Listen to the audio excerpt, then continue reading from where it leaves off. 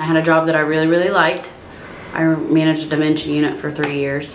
So, and I had a little kid at home. My grandpa was elderly and sick, and I just, I, I could have probably swung it, but then I wouldn't have been there for my kid. I wouldn't have been there for my husband, and I really wouldn't have been there for my grandpa, and that was just too big of a risk to take. Um, so the best way for me to do it was to do it late at night on my own time and get it done.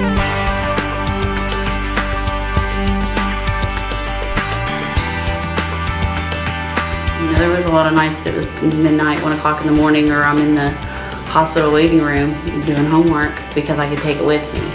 And I knew that if I didn't get to it today, I didn't have to really stress about it. It's still in the back of my mind. But I knew nobody was going to call me or flunk me out because I had to take a week off. So it really, it was the only way I could have done it.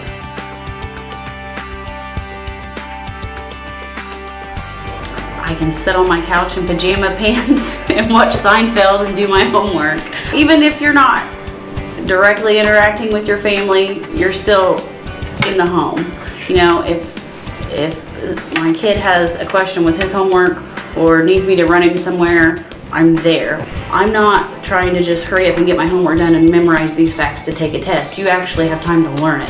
So if there's something that I don't quite understand, I can go research it, I can YouTube it, which I've done, um, and then I feel like you actually learn it. You're not just capturing it to pass a test, you're actually learning it. Like I feel like I've retained way more learning this way than I did in a classroom setting. And I feel like they want you to do well when you call. You know, when you call the college network, they do try to tell you, you know, you're doing good, you have X amount of tests left to take um, you did really well on this last exam. Like I feel like when I do call, they really do care about how well I'm doing, or if I'm doing well, or if I'm having trouble, how can they make it better? It's the best way, you know, to continue your education, be a better asset to your community and your employer, and most importantly to yourself. You know, there's nothing more rewarding than studying like that and working 70 hours a week and then you still pass it. So I, I really liked it. I have no complaints about the program, the materials, the staff, anything. I really, this is the only way I could have done it, really.